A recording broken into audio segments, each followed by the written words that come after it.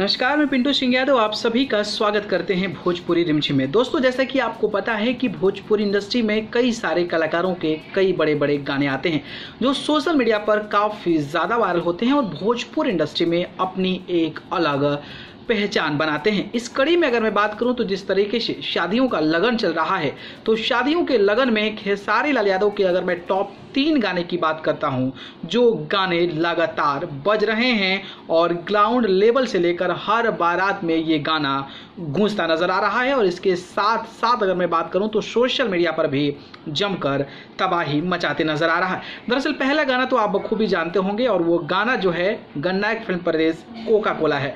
ले ले आई Coca Cola वो गाना पूरे देश, पूरे वर्ल्ड ट्रेंडिंग सेक्शन से लेकर व्यूज़ के मामले में एक से बढ़कर एक बड़े बड़े रिकॉर्ड को स्थापित कर रहा है और खेसारी लाल यादव का यह गाना लगभग तीन सौ मिलियन के क्लब में महीना, एक महीना के अंदर ही शुमार होने वाला है। तो ये गाना जो है, सोशल मीडिया पर तो बजी रहा है, ग्राउंड लेवल पे भी जमकर बजता नज़र आ रहा है। वहीं अगर दूसरे गाने की बात करता हूँ तो नथुनिया, जैसे कि आपको पता है कि तीन हफ़्ते पहले रिलीज़ हुआ ये गाना, नथुनिया जो है, ये भी तबाही मचा रहा है और ये गाना फ़िलहाल ट्रेंडिंग में ट्रेंड कर रहा है तो इसके साथ व्यूज़ के भी मामले में ज़बरदस्त तरीके का रिकॉर्ड स्थापित कर रहा है और 42 मिलियन तीन हफ़्ते में ही व्यूज़ गेन कर लिया है। तो आप अंदाज़ा लगा सकते हैं और ये गाना भी ग्राउंड लेवल पर जमकर बसता नज़र आ रहा है। तो वहीं एक और गाना जो कि आदि शक्ति फ़िल्म पर रिलीज़ हुआ है, जिस गाने का नाम है सैया जी सबर करी जिसका बीट एकदम कमाल का है।